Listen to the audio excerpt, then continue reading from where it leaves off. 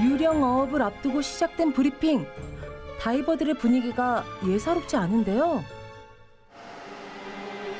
모두 프로 다이버들이지만 중요한 작업을 앞둔 만큼 장비 확인은 함께합니다. 전진할게요. 후드. 후드. 박스. 박스 체크. 자, 밸브 개방. 뭐라든 안전이 최고겠죠? 자, 이동할게요. 나 후드까지 썼어. 괜찮아. 둘이 걸어가면 그림 이상하게 나오는데.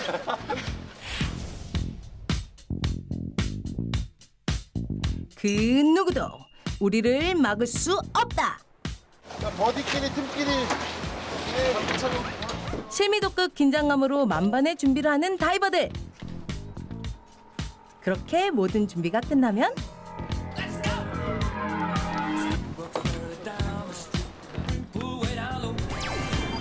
칼날 같은 추위에도 아랑곳하지 않고 오로지 고스트 피싱을 위해 바다 한복판으로 달려가는데요. 수상한 유령어업의 실체가 지금 공개됩니다. 아까 이강사님 브리핑 잘 들었으니까 포인트명 다 잘 아시고 예, 안전하게 다이빙 하십시오. 아, 화이팅!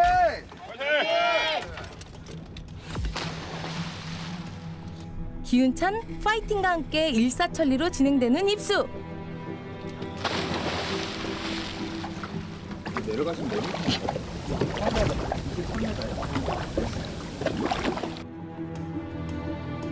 수심 24m. 과연 무엇이 우리를 기다리고 있을까요? 서로의 안전을 위해서 4인 1조로 움직이는 다이버들. 그때 용규 씨가 뭔가를 발견한 모양인데요. 어? 이건 통발 아닌가요?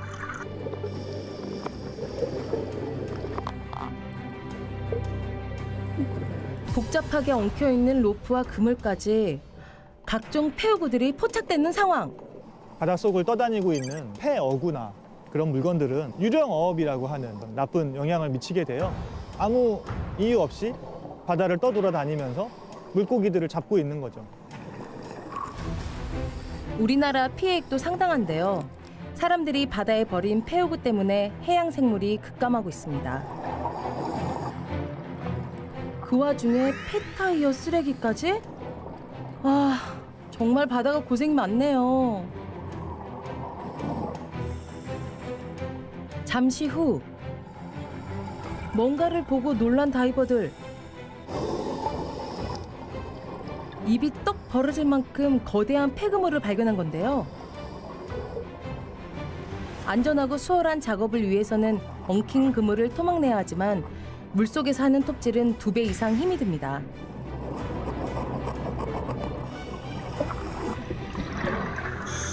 힘든 절단 작업이 끝나면 에어백의 부력을 이용해서 무거운 폐허구들을 끌어올리는데요. 자, 드디어 물고기 잡는 유령 폐금을 체포 완료.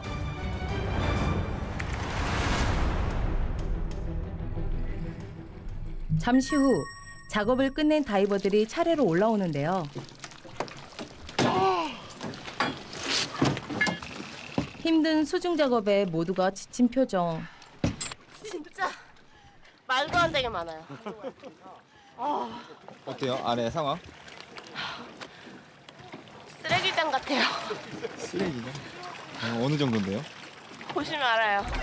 저거 반도 묻은 못 번진 거예요. 저희 여기 다른 다이버 분들이랑 저희랑 같이 저희가 올릴 수 있는 조그만 덩어리들은 이렇게 모아가지고 올렸는데요. 굉장히 크게 이렇게 얽혀 있는 것도 있더라고요, 그죠? 그런 거는 아예 그냥 그 철골에 아예 묻어버린 거죠. 아예 땅까지 끼어 있는 박혀버린 거라서. 거라서 네. 빼기가 힘들어갖고 일단은 할 수 있는 만큼 하고 올랐습니다. 네. 안에 그럼 더 있다는 얘기. 네. 있죠. 계속 더 있습니다. 있죠. 네. 짧은 시간 동안 꽤 많은 폐허구를 수거했는데요. 베테랑 다이버들이기에 가능한 작업입니다. 올릴 때 조심하세요. 드라이브 떼세요.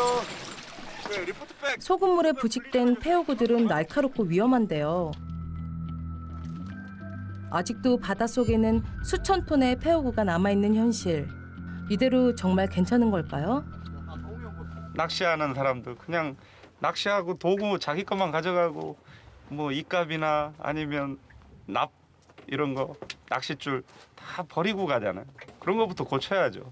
지금 뭐 소금에서 플라스틱이 나온다면서 소금에서 나오면 생선에서도 나온다는 거 아니에요. 우리나라 사람들 생선 좋아하는 이런 사람들이 많으면 이제 깨끗해지겠죠.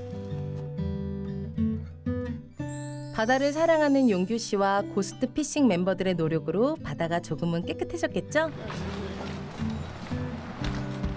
뭐든지 시작보다 끝이 중요한 법. 바다에서 수거한 폐허구를 깔끔하게 처리하기 위해 한데 모으는데요. 와, 모아놓고 보니 새삼 어마어마하게 느껴지네요. 아니 그러면 이거는 처리를 어떻게 하는 거예요? 이 처리는 이제 어촌계에서 와서 이 폐구물을 다시 수거해서 폐기물 처리합니다. 버리는 사람이 없다면 힘들게 줍는 일도 사라지겠죠?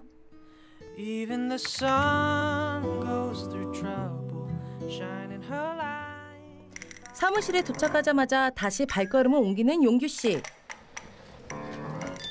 에코백까지 챙겨 들고 어딜 가는 걸까요?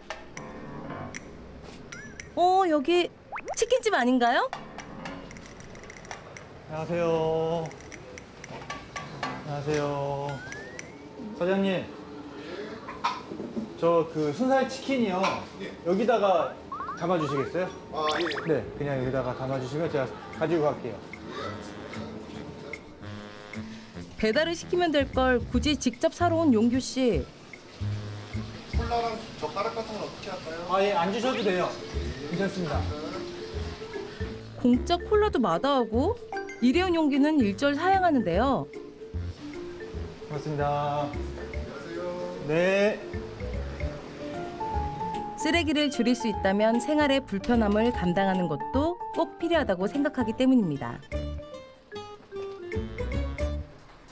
다녀왔습니다. 다시 들어가자.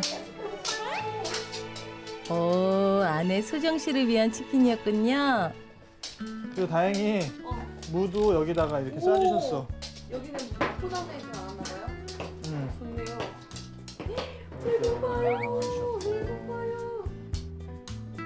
고된 하루 끝에 먹는 치킨은 예, 힐링이죠. 사랑입니다. 엄청 꿀맛인데? 불친절 하셨어? 아니 그래도 당황하시지 당연히. 이렇게 갖고 가면 여기 이렇게 통 가져가서 담아달라고 하고 그러면 익숙하지 않은 분들은 당황하고 하는 것도 있는 것 같아요. 오늘이었나? 그때 빵살 때도 그랬었다면서요. 음. 그냥 좀 한참을 생각을 하더라고. 음, 그냥 종이봉투에만 담아달라고 음, 하니까. 그냥 주시 그냥 주 아니 뭐 담아 달라고 한 것도 아니고 그냥 그냥 주세요 이랬더니 거기는 그렇게 해본 적이 없는 거야. 그치. 그거를 꼭 거기서 담아서 포장을 하고 봉지에 싸서 봉지에 싸서. 음, 봉지에. 딱 그렇게 해서 줘야지 되는 거라고 생각을 하는 거야. 어, 아니라고 그냥 그거를 안 쓰려고 그러는 거라고. 그럼 또 그러면은 어, 아 그러시냐고 이렇게 또 이해를 하, 하더라고. 이 부부가 사는 법 정말 멋지네요. 며칠 뒤 강릉시 안목해변 얘는 17개야. 그다음에 얘는 이것도 12개인데 이거를 다 쓰지 않고 좀 쓸만한 것부터 네, 네. 쓰면 좋을 것 같아. 그지? 소매가지고 거기도 좋은 것 같아요. 이쪽으로 걸까요? 이게 안쪽으로 여기 칸 있어요. 대표님 오늘 무슨 날이에요? 오늘 아주 신나는 날이에요. 신나는 날이에요. 잠시 후 부부가 마련한 자리로 사람들이 모여드는데요. 안녕하세요. 안녕하세요. 어? 주한이 가족도 보이네요. 어머, 외국인까지? 용규 씨, 대체 무슨 일을 벌인 거예요?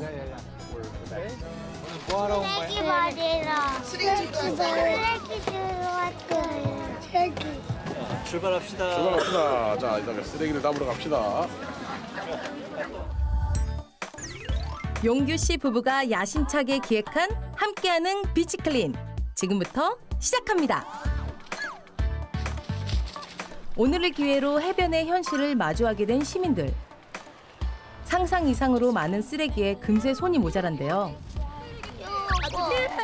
겨울바다에 무슨 쓰레기가 있을까 싶지만 주위에 보는 사람이 없다 보니 해변에 쓰레기를 버리고 가는 비양심도 많아지는 시기입니다. 이거 봐요. 어? 그게 뭐예요? 아, 플라스틱. 플라스틱. 나는 핑크색. 지우 지우 가방에 담아. 재밌게 갖고 노는 게 핑크. 핑크색. 이거 봐 이렇게 되면 애들이 어, 삐죽하게 튀어나온 폭죽 잔해를 본 어른들은 마음이 급해지는데요. 야 이런 게 다 다치는 거야 다치는 거. 아우 어쩜 좋냐. 용규 씨가 나눠준 에코백이 어느새 가득 찼습니다. 특히 폭죽하고 그 부스러기들. 아이들은 쓰레기를 보면서 어떤 생각을 할까요?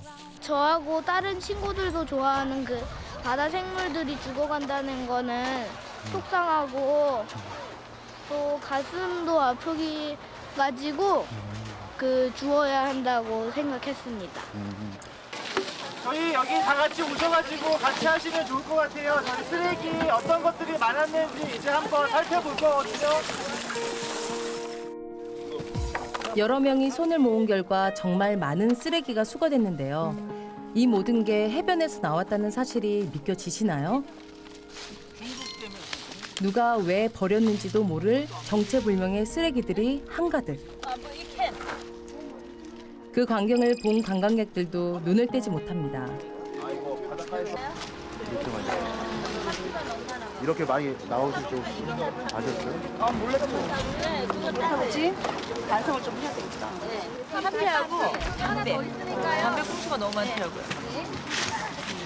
환경이나 이런 문제 얘기가 때문에 드러나는 거지. 다 지입으로 들어가는 거. 부상하도 여기 뭐 갖다 내버리고 하고.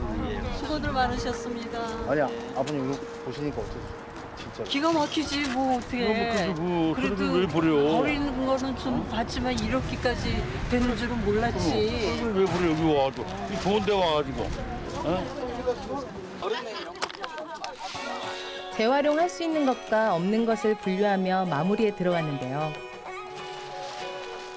시민들의 적극적인 참여 덕분에 용규 씨 부부가 기획한 첫 번째 beach clean 모임이 무사히 끝났습니다.